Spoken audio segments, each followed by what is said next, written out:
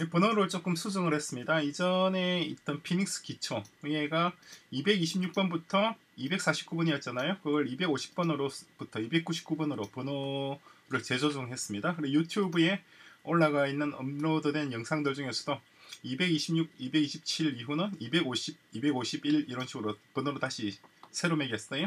그리고 어, 이전에 우리 지금 200 번부터 아마 225번 정도까지 지- 진행을 했었죠. 이 엘릭스 어, 프로그래밍 엘릭스 1.6 요거 오늘 맞아 225번부터 226번부터 249번까지 이 책의 마지막 부분 그럼 20장부터 아마 25장까지 마지막 부분을 여기서 어, 녹화를 하겠습니다. 그래서 번호를 약간 새로 수정해서 이미 이 유튜브에 업로드 되어 있던 225번 226번 이후 번호를 250번 이후 번호로 새로 고쳤다는 점. 그 점을 참조하시기 바랍니다.